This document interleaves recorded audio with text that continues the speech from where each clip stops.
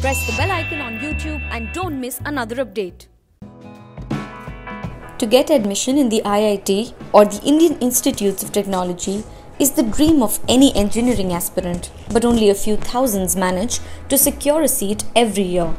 However, the premier engineering institutes also offer many online short term certificate courses which are taught by the IIT faculty. If you are interested in taking up a course online from the IITs, here is a handpicked list.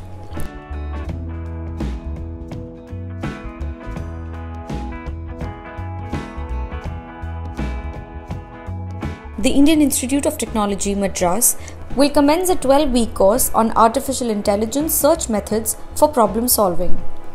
It is conducted in July every year. It teaches basics of AI, state space search, algorithm, game playing, rule based system, problem decomposition with goal trees, among other things. IIT Kharagpur will conduct an 8 week course on cloud computing.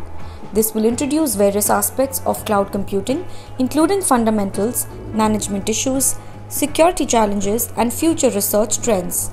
Cloud computing architecture, service management in cloud computing, research trend in cloud computing, fog computing are also included. The most demanding course in both medical engineering fields is biostatistics. The Indian Institute of Technology Bombay conducts an 8 week course on mechanobiology biostatistics.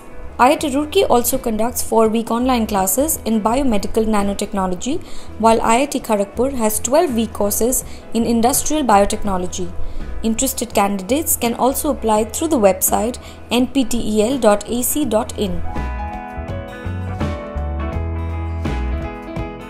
Around 30 online courses are offered on electrical and electronics engineering in collaboration with the IITs and Indian Institute of Science, Bangalore. There are some short term certificate programs on Introduction to Coding Theory, Analog Electronic Circuit, Microwave Engineering, which have a huge demand in the industry. IIT Kanpur offers a 2 month course on coding theory, while Microwave Engineering is a 12 week course by IIT Guwahati.